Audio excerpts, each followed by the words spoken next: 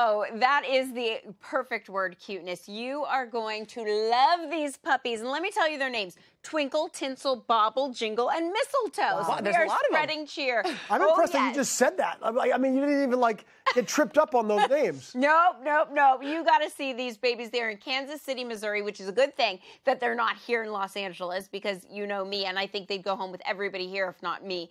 That is Caitlin. She is a nurse, and she also helps foster through Melissa's Second Chances, which is the rescue that they're with. Let's meet these tiny little guys who just turned six weeks today. Oh my gosh, Caitlin, I hear you're not getting any housework done.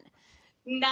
I just sit and play with them all the time. when they get tired, they just get in a pile and they all lay on my lap. And they all still kind of fit, but as they get bigger and bigger, there's they're running out of lap space. Oh my gosh, they are just too cute for words. Now, I know they are boxer staffy mixes, so they've got a little bit of pit in them, a little boxer. Tell me a little bit about their personalities because I know they're very unique.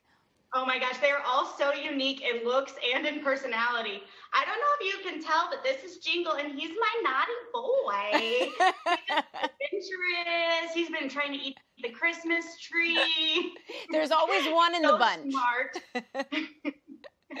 and so they're six weeks now. You've had them for a couple of weeks, so you're taking applications for adoptions. I don't think it's going to be hard to find them good homes. I mean, look at these babies. Anything you'd like people to know about adopting a puppy because you know they come with, you know, puppyhood and all the puppy stuff. Absolutely. You know, I think that getting a puppy for Christmas is such a beautiful, fun thing to do as a family. You just have to remember that in six months, they'll be dogs and that they're going to be with you, hopefully, for a very, very long time. So put a puppy under the tree if you and family, you and your family are ready, but just be ready to have a dog soon and a lifelong friend. Thank you. Thank you. So important. Absolutely.